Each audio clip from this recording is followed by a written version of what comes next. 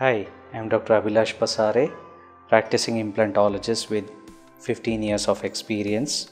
I have two dental centers, one in Sector 2nd and Sector 6 of HSR Layout, Bangalore.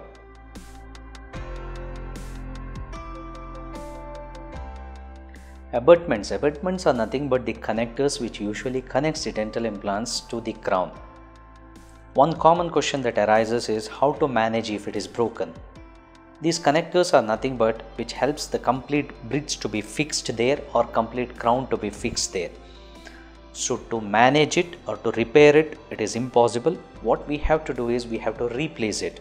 So these connectors or these abutments are particular to that particular brand of dental implants which has to be replaced.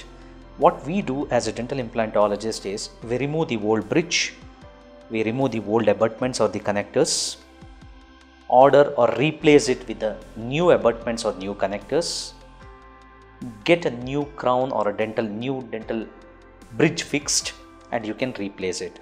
But whether you can repair the old one, it is practically not possible to repair the old one.